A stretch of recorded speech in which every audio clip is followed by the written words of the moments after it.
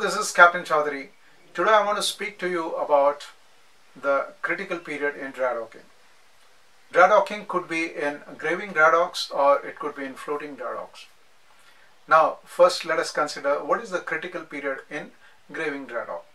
Well, uh, the ship would normally enter head first and uh, normally the blocks in the dry dock they are laid you know to allow you know the draining of the water that means it will generally have some slope seawards now ship is also asked to come with a trim which is slightly more than the slope in the dry dock so that the stern still touches first now in the dry dock after the uh, gates are closed when the stern touches first that is the time you know, with the fall of water level at some point of time, the stern is going to touch the block.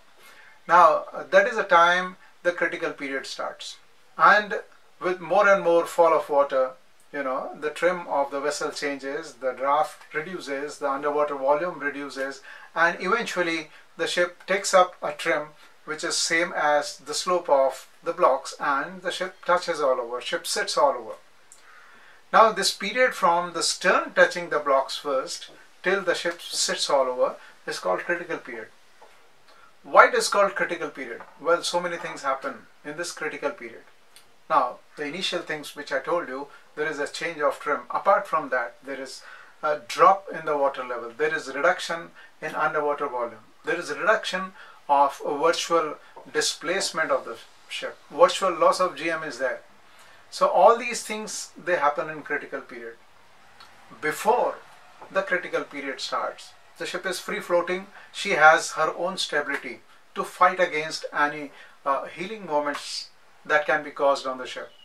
And after she sits all over, that means after the critical period is over, there are, uh, you know, the ship number one sits all over. Additional blocks are placed under the ship in various parts so that the ship now has no fear to fall off once any heeling moment is caused to the ship.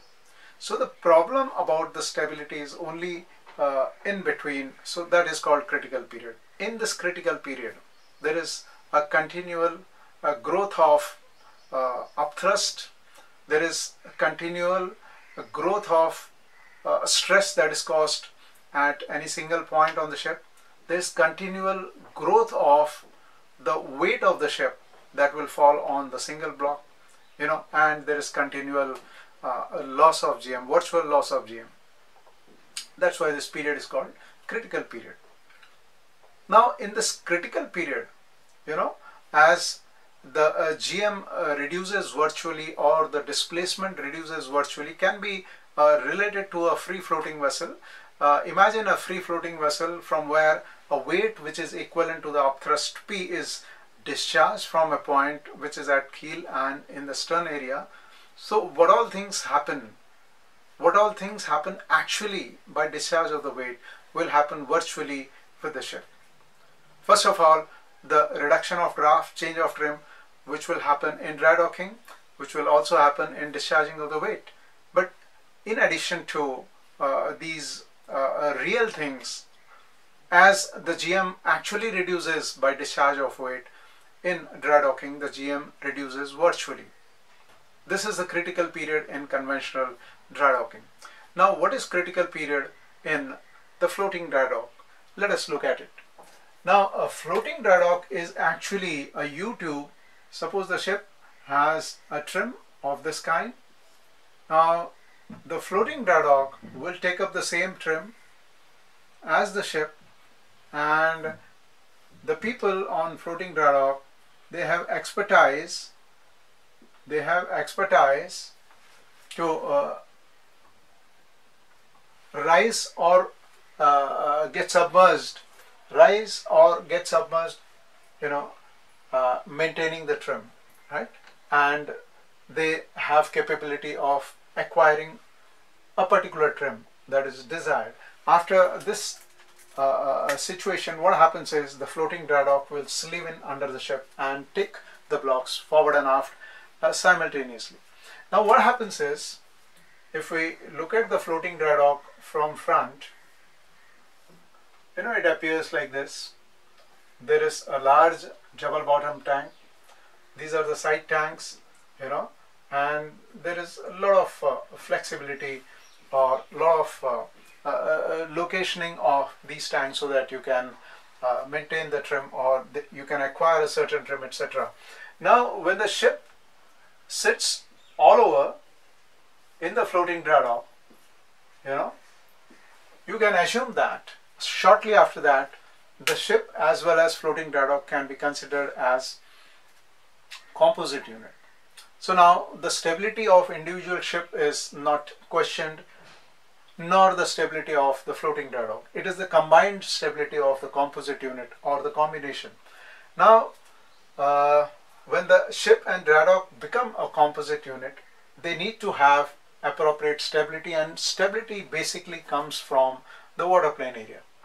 Because uh, in case of normal box ship vessel also we know that moment of inertia of water plane area is lb cube upon 12 and for a box vessel the vertical distance from b to m is b square upon 12d so what is the breadth of the ship and what is the draft they are very important in deciding what is the stability of the ship. So generally if you have for a given draft if you have a ship of uh, broader breadth in your fleet that ship will be generally stiff.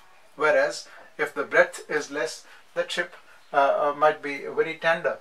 Now here the water plane area at this water line is adequate coming from the side tanks and the ship.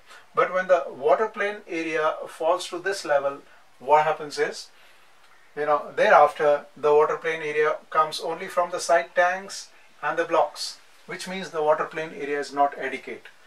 So as the water level drops further till the water level comes to the tank top level you have this problem that there is insufficient water plane area.